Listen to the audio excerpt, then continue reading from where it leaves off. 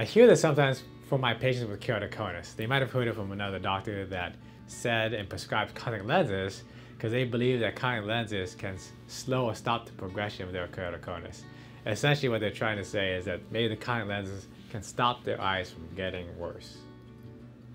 Now, we do a lot of contact lenses at our office, but the answer that I give patients is actually no. Wearing contact lenses, whether you're wearing hard or soft contact lenses, usually does not stop or slow down the progression of keratoconus. Now, what can?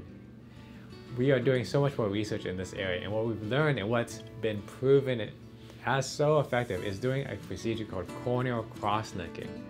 Corneal cross-linking involves seeing an ophthalmologist who can apply special drops to your eyes and shine a light that can that can strengthen the bonds of the cornea so it doesn't bulge as much or change over time.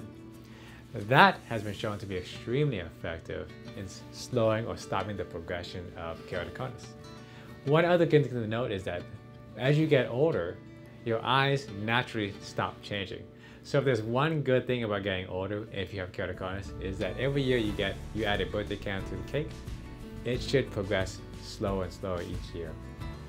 So in a nutshell, can contact lenses stop or slow down the progression of keratoconus?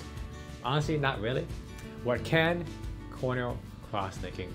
And the younger you are, the more you need to consider doing cross-linking because if your eyes change and get worse, it can never go back to being the same. It's better to prevent the problem from getting worse as soon as possible and seeing a corneal specialist to investigate if corneal cross-linking might be right for you.